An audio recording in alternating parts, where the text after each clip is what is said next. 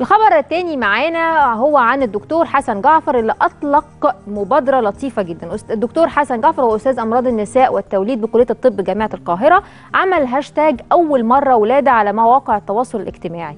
أم أم يعني هو الفكرة كلها لدعم وتوعية الأمهات الجدد والرد على أه، تساؤلاتهم المتعلقة بالولادة الأولى. طبعا كل ست في أول ولادة بتبقى إيه متخوفة جدا. الهاشتاج ده ضمن فعاليات مبادرة اسمها نساء أذكياء أطفال أصحاء اللي أطلقها الدكتور جعفر العام الماضي وشملت تنظيم ندوات مجانية للنساء آه، في عدة موضوعات آه، متعلقة بالصحة الإنجابية زي آه، الاستعداد للحمل أفضل وسائل منع الحمل خاصة في بداية الزواج وغيرها من الموضوعات. دكتور حسن جعفر دلوقتي منورنا على التليفون. ألو. ازيك؟ مساء الخير يا فندم ازي حضرتك؟ ازيك أخبارك إيه؟ تمام الحمد لله. من من واقع تجربة حضرتك أكتر التخوفات اللي الستات آه، بتكون عندها هاجس بيها ومسيطرة عليها من الولادة الأولى بتكون إيه؟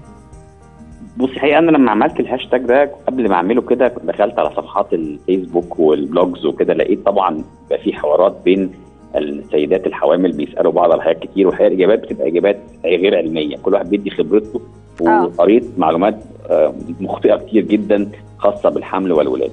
فقعدت أعمل بحث كده لمدة أسبوعين ثلاثة أشوف إيه أكتر حاجة الناس مش مش فاهماها أو الناس مش عارفاها لقيت الموضوع الخاص بالولادة بالذات الجزء الخاص بالولادة. إمتى يعني إيه ولادة؟ إمتى الست تخش في ولادة؟ يعني إيه contractions أو طلق يعني إيه تنزل مية ال baby؟ إمتى تروح المستشفى؟ الفرق بين الولادة الطبيعي والولادة ال caesarean القيصرية. آه إيه هو ال epidural أو الولادة بدون ألم؟ مين أحسن الطبيعي ولا ال caesarean لقيت إن الناس مش عارفة خاصة إحنا كدكاترة برضو جزء من ال- ال- ال- المشكلة رجعنا إحنا لأن إحنا مشغولين جدا في عياداتنا. يا دوبك بنعمل عينة ال ultrasound أو السونار ونتكلم معاها في أي أعراض بت بتكون بتعاني منها. مم. نكتب روشتة. مفيش وقت للأسف في العيادات المزدحمة إن بالذات. حضرتك تاخد وتدي مع العيان آه. يعني مع الأم. آه. بالظبط وت- وتقعد تقولي طب أنا هحاول في الآخر بنتكلم في القصة دي. يعني ما أنا مثلا في المركز عندي ففي الشهر الثامن بنبدأ نتكلم مع المريضه في ال- في الولادة. هي بقى تقعد من أول الحمل لغاية الشهر الثامن بتسمع وبت... كلام صح كلام غلط بتبقى قلقانة جدا. هي من أول الشهر الثامن كل اللي بيسيطر عليها الولادة. خلاص كده. الولادة بالظبط كده. بالظبط.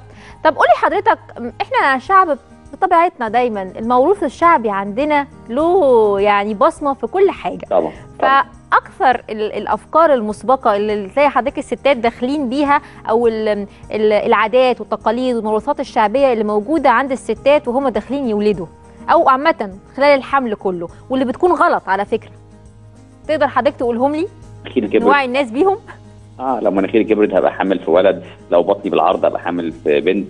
آه إن ال- الحموضة اللي بتيجي أو ال heartburn نتيجة إن الشعر بتاع ال baby إن الولادة في الثامن آه وحشة وال baby بيموت الولادة في السابع هي الأحسن. مم. ال baby بيعيش. آه إن آه إن في حاجات بقى أكلات معينة ممكن تخلي الست تحمل في ولد وأكلات ما تخليها تحمل في بنت. أوقات يعني كل الكلام ده موروثات خاطئة.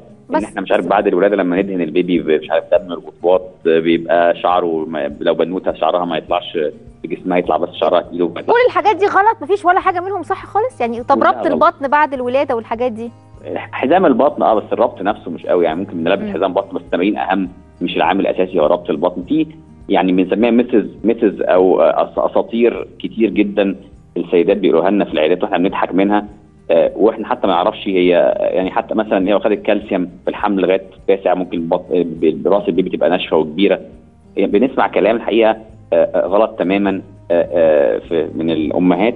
ومن أمهاتهم بقى اللي هو الجدات. آه. أكتر ناس بي بينقلوا الكلام من الخبرة. مم. وزمان زي ما حضرتك عارفة ما كانش فيه آه، معلومات أو ثقافة طبية كبيرة زي دلوقتي. فالأمهات أو الجدات بقى اللي هم بينقلوا المعلومات دي بيكون برضو كله عبارة عن موروثات زي ما حضرتك قلتي. فبنلاقي معلومات غلط كتير جدا. بنحاول إن إحنا كأطباء بقى خلال الهاشتاج اللي أنا عملته ده من من خلال الصفحة بتاعتي على الفيسبوك إن أنا أرد على لمواجهة آه. آه. السيدات في الأسئلة بتاعتهم عشان نحاول بس نوعيهم يبقوا فاهمين هم إيه اللي داخلين عليه بالظبط ما يبقوش خير على المجهول يعني. ميرسي جدا لوجود حضرتك النهارده معانا على التليفون وهننتظر حضرتك آه، تكون ضيف عزيز علينا إن شاء الله. فسيداتي يعني سيداتي نتكلم بقى عن كل هذه الأشياء بالتفصيل علشان نوعي كل الأمهات. ميرسي جدا لوجود حضرتك.